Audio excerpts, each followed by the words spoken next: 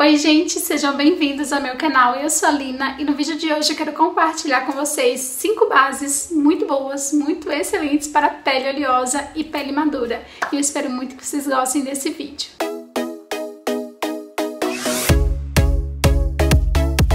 Então gente, antes de eu começar a compartilhar com vocês as minhas 5 bases queridinhas, eu vou pedir para você se inscrever no canal aí embaixo, por acaso você ainda não é inscrito, e deixa seu gostei aí embaixo para mim também, tá? Clica nesse botão gostei e clica no botão, no botão inscrever-se para você fazer parte desse grupo de pessoas maravilhosas. Então, gente, a primeira base que eu vou compartilhar aqui com vocês, que eu amo, que é muito boa para pele oleosa.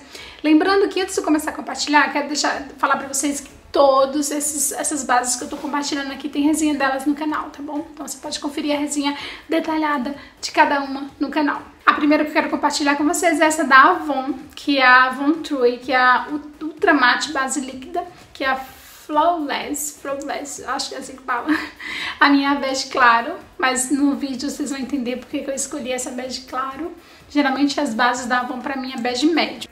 Então essa é uma base muito boa, muito legal para pele oleosa e para pele madura também. E a segunda base que eu quero compartilhar com vocês é essa da Dylos, também que é para pele oleosa, é uma base, uma base mate, que ela é a prova d'água. É muito legal essa base, gente. Eu gosto bastante dela. Apesar que ela fala que ela é para pele oleosa, mas ela ela a oleosidade com ela aparece mais rápido, sabe? Muito mais rápido, mas ela é muito boa também, eu gosto dela. A terceira base que eu quero compartilhar com vocês é essa da Ruby Kisses, que é muito boa, que é a base mate de alta cobertura, alta cobertura mesmo. essa base da Ruby Kisses, muito legal. E a minha quarta queridinha, que eu amo essa base de paixão, é essa da Mary Kay, que foi um super achado, super descoberta em 2019. Geralmente eu, eu uso, uso base da Mary Kay, aquela Time Wise, sabe? E eu resolvi experimentar essa daqui, a At Play da Mary Kay. E eu me surpreendi. Muito boa essa base, gente. Muito boa mesmo.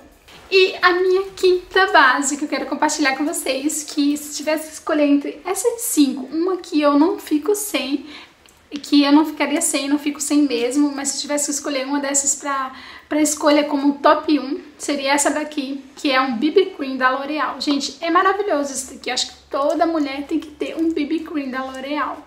É muito bom esse BB Cream e um preço incrível, né? Um preço maravilhoso, que é 30 reais. Na verdade, esse aqui eu paguei 25, tava na promoção. E é muito bom, gente, isso aqui. Maravilhoso. Tem resenha dele no canal, eu compartilhando com vocês a minha experiência com ele. Eu não fico sem esse produto aqui. A minha cor é bege médio, ele só tem três tons. Acho que o único problema desses BB Creams da L'Oreal, como ele não é um produto nacional, ele só tem três cores, né? Ele só tem o claro, o médio e o escuro. É... Mas é muito bom, eu amo isso aqui. Então foi isso, gente. Foram essas as bases que eu quis compartilhar com vocês, as minhas queridinhas que eu indico, que eu amo, que eu uso no meu dia a dia. É maravilhosos, são maravilhosos. Espero que vocês tenham gostado, espero que eu tenha ajudado vocês com alguma dica, com alguma inspiração de base. Fiquem todos com Deus. Um grande beijo, tchau, tchau, até o próximo vídeo.